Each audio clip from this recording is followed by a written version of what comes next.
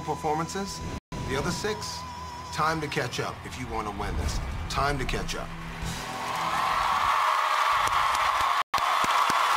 We shall see. What do you think?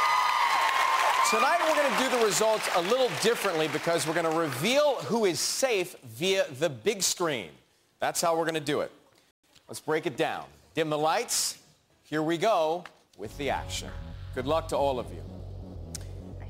After the nationwide vote, the first person safe tonight is, let's see, Gina!